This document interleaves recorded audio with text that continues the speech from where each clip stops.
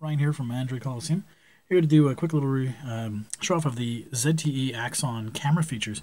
So, like I said, another video, lots of really cool features. Um, I like how when you you focus on something, you can adjust the brightness, give or take some. But I think one of the coolest little features is that we have the sports mode, and I haven't really seen this on other devices yet. Um, so we can choose what we want to focus on. And as we move around, it really tries to keep that guy in focus. I don't know why it's kind of blurry there. I don't know why, but that's kind of cool. It has that little object tracking. My beeps a lot. But that's I think that's pretty cool.